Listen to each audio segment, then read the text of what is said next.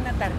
América, ¿cómo, ¿cómo van las grabaciones? Bien, muy contenta, muy contenta. Arrancamos la semana pasada en locaciones y hoy estamos haciendo ya normal, lo normal, foro y locación. Muy contenta, la verdad muy contenta, muy agradecida. Este, pues con Lucero yo trabajo muy a gusto, bueno, con todos, pero con Lucero este, la paso muy bien y su equipo ya me conoce. Entonces, pues estamos a todo dar, chicos, a todo dar. Cuando estás grabando, ¿cómo le haces ya para compaginar eso de redes sociales que ya no puede cambiar y tienes que ser constante, digamos? En los camerinos, a ratitos, el sábado, este, pues ya había hecho novela y redes sociales, se trabaja más, pero pues le echo ganas, ¿no? De hecho, ahorita estaba haciendo un TikTok y no he encontrado un filtro que quería meter. En lo que espero, siempre hay tiempo y siempre hay modo. Claro. Oye, Erika, eh, recientemente eh, hiciste un comentario sobre que pagaste una deuda ahí de- por ser madre soltera en tu trabajo. ¿fue Ay, esto? pero fue una historia que pasó hace mucho tiempo.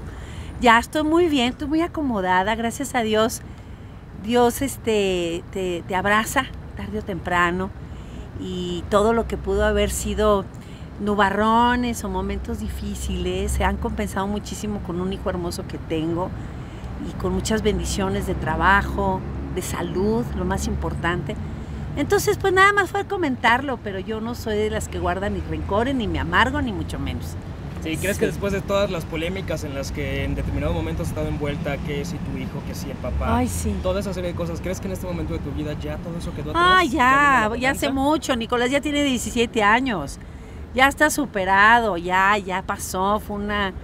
Son parte del crecimiento, ha sido parte del crecimiento personal. Ya lo sufrí, ya lo lloré. Ya pasó, estoy en otro momento de mi vida, ya mucho más madura, mucho más tranquila, más centrada y, y bien, gracias a Dios, bien. ¿Y Nico Sí. cómo toma eso? ¿Ya hablas con él maduramente de No, ya Nicolás lo tomó más fácil que yo.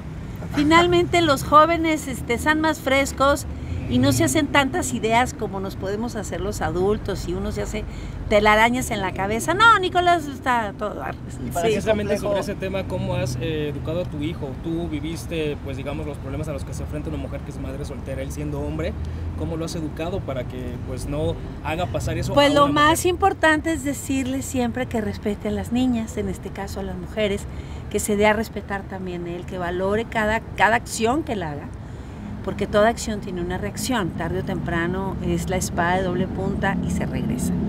Entonces yo he sido muy fuerte con él, a pesar de que lo tengo consentido, sí, ¿por qué no? Pero soy muy fuerte y he tratado de, de educarlo de la mejor manera. Los papás siempre decimos que estamos dando lo mejor, no hay un manual. Cada hijo te enseña a ser papá o mamá y nosotros los enseñamos a ser hijos y vamos de la mano. Por eso es un muchachito mu- muy decente, muy bueno, muy con un carácter de, ver- de verdad este, mucho más tranquilo que yo. Ya lo que falta poco para que cumpla 18, pareciera que Nada, fecha- ya estamos organizando fiesta y todo. Oye, pareciera que esa fecha justamente es un número, pero sí empieza con un proceso sí. de cambio en el sentido de- Totalmente. De, que pues ya se independiza, se puede ir a vivir a otro lado en un ¿No te ha pedido ya un departamento? No, no, tiene 18, todavía es estudiambre. es estudiambre. Y entonces no creo que pueda solventarse su departamento. ¿Ya tiene novia? Pues tiene muchas. no, este, todavía no creo que quiera salirse de casa, está muy cómodo.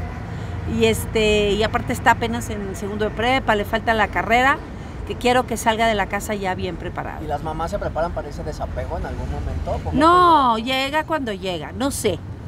No sé, ya te contaré. Hay algunas que les cuesta más. Este, no sé cuánto me vaya a costar. Por eso ya le estoy comprando un departamento al lado de la- mi casa. No, no es cierto. ya le voy a comprar la de al lado para que ya esté aquí. Y no está No, mal, no ¿eh? sé. Y no está mal No, no. eh, El, el chiste es que dejarlos volar.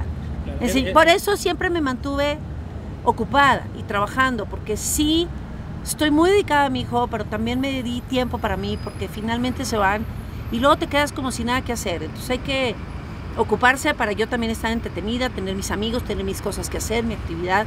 Aunque me canso, no importa, porque dobleteo, soy mamá y soy artista, pero no importa. El Porque famoso síndrome del nido vacío que le llaman, ¿no? Todavía no lo vivo, corazón. Ay. Todavía no lo vivo, gracias a Dios. pero cuando eso pase, ¿no? ¿Qué? Pero tú viviste ese proceso, ¿no? Con tu mamá también. o sea, Ay, no, mi mamá estuvo pegada conmigo hasta Ah, que se murió. Sí. No, no, de esa nunca se fue. Pero para cuando ese momento llegue, ya digo, ¿habrá planes o te gustaría, no sé, tener una pareja, compartir con alguien? Ay, no, al contrario, más a gusto, todo para mí. No, no quiero pareja. ¿Por qué fuerte? Perdón, No, iba a decir una puede- palabra. ¿Por qué me quieren ver con un novio? No, yo chicos. eh, yo así sin. Pero puede ser de entrada por salida, no precisamente tener el nido ahí. Ah, pero eso no se los voy a contar. Ah. Ah, A mí me gusta sin compromiso, güera, ¿eh? No, Ah, qué bueno, sí, un novio gusto. sin compromiso, sin andar, que dónde andas y por qué estás Ay, grabando y tenemos... Ya se da mucho, ¿no? Chicos, ya me en voy. su casa. Y, que, y cada quien en su casa y todo y Dios en la de todos. Buenas tardes. Hasta luego. Que Bye, chicos. bien. Bye. Cuidado, cuidado. Aguas, aguas. Vale. Espera, espera, espera, espera. Sí, pe- pesca la pata. Mira, mira. Bye. Es la edad. Bye, chicos. Hasta luego. Bye.